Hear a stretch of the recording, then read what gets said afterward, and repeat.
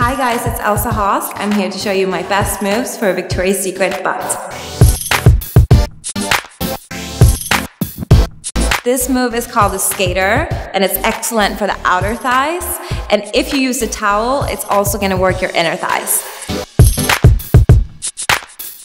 The lunge is an excellent way to shape and lift your booty. If you add the pull in at the end, you'll get extra cardio and that maximum burnout.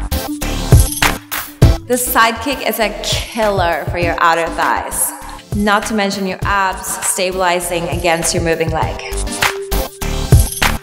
This pulse is the best booty lifter there is and it will target your entire bum. Clamshell is another great move to really carve out your outer thighs and glutes.